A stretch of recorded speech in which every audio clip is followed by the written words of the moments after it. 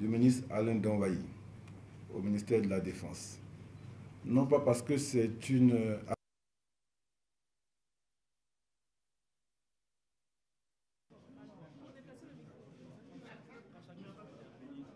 Ceux qui sont présents en cette fin d'après-midi pour procéder à la passation de charges. en-